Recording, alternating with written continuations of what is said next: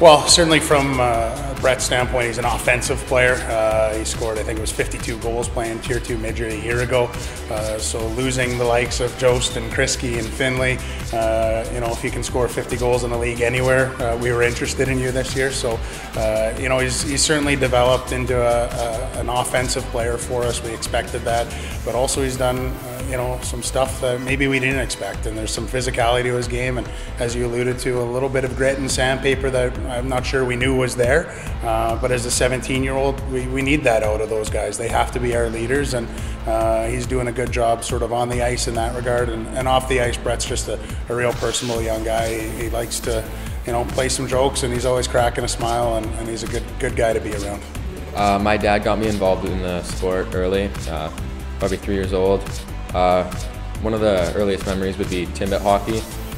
I played on the midget tier two team. Uh, we did really well. We lost in the finals in overtime. Uh, we were a very strong team. I had a good season. I was had a good coach. I was coached well, and it was it was a good time. I think we're going good. We're clicking together as a group. Uh, everyone's working hard. We go hard on and off the ice, and I think we're going to be a good team. Ben Fed is really good. He's fast. He gives us the puck. And uh, my new line mate, uh, Black, he's very skilled and he can shoot and he's smart. Uh, I want to be an all-around player. I want to put up points and I want to be skilled and fast, but I want to be reliable in my own zone too.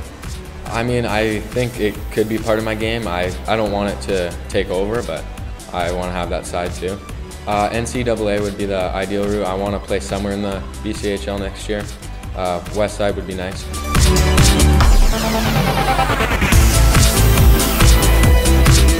Five things you don't know about me.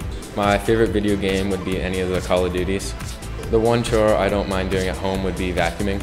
My favorite music group would, or category would probably be country. If I wasn't playing hockey, I'd be with my friends or playing video games probably.